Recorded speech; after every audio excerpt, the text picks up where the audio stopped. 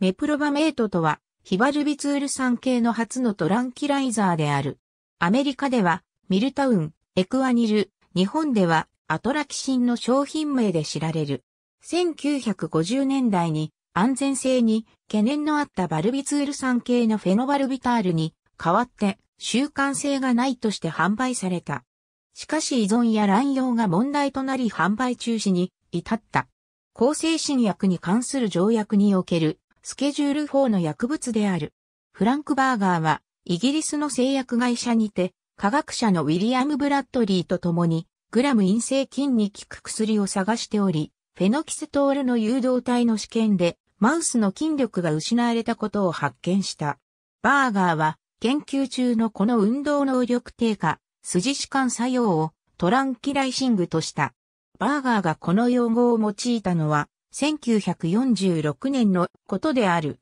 1949年にアメリカに移住したバーガーはカータープロダクツ社のウォレス研究所にて会社よりメフェネチンのような化合物の開発が望まれていた。会社の指示により1950年5月にはベルニー・ルードビッヒが新しい化合物を作り出し、これが後にメプロバメートを生み出した。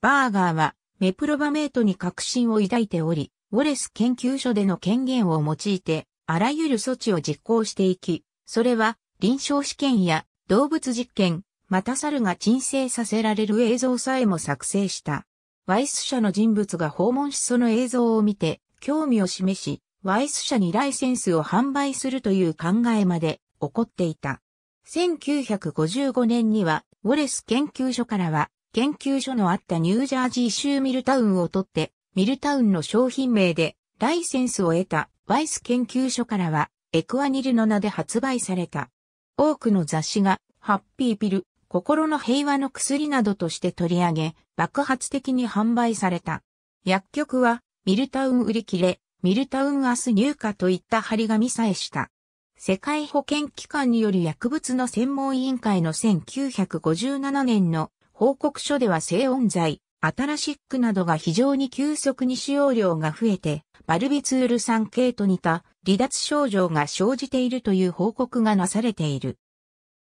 日本では1957年に初のトランキライザーとして登場し、第一製薬のアトラキシンが代表的なもので他にエリナ、ハーモニンといった商品も含め20種ほど販売されていた。日本の新聞においても文化病、都会病、ノイローゼの薬として広告され、主婦のイライラや赤子の夜泣きへの効能が謳われている。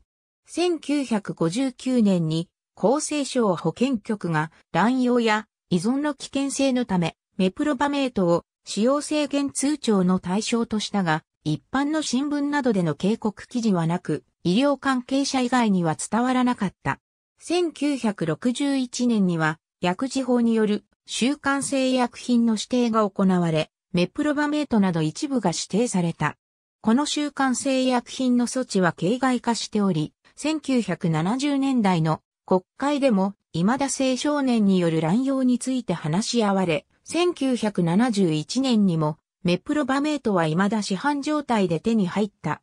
記事報道もなされ、第一製薬は、アトラキシンの出荷を停止し、1971年12月27日には、厚生省は精神安定剤すべてを指定医薬品に指定した。そして市場から姿を消していった。スターンバックが似たような薬を開発し、これは後にベンゾジアゼピン系の薬となる。ありがとうございます。